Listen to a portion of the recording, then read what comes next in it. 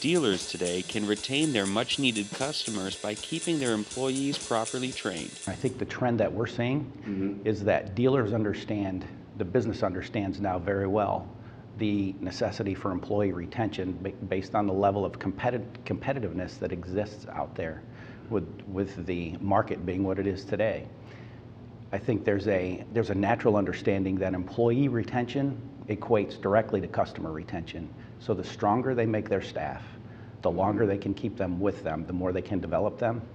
Obviously, the more robust that particular dealership becomes. Mm-hmm. And, in, and in turn, their customers see the skill set that's coming to them mm-hmm. and respond positively to it. I think with, with employee retention, number one is develop, obviously. Mm-hmm. Um, the, we, we provide many opportunities for that in a, in a variety of aspects. NADA University Online is a great opportunity, a great tool to tap into for training all levels of your dealership employees.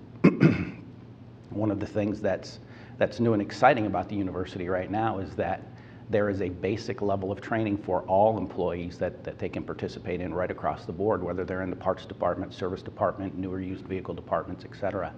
So we absolutely would encourage, we absolutely encourage that, that those employees take part in that, gain a basic understanding of all of the dealership operations that happen within one rooftop, mm-hmm. and then contribute, possibly contribute more effectively to all of the ongoings.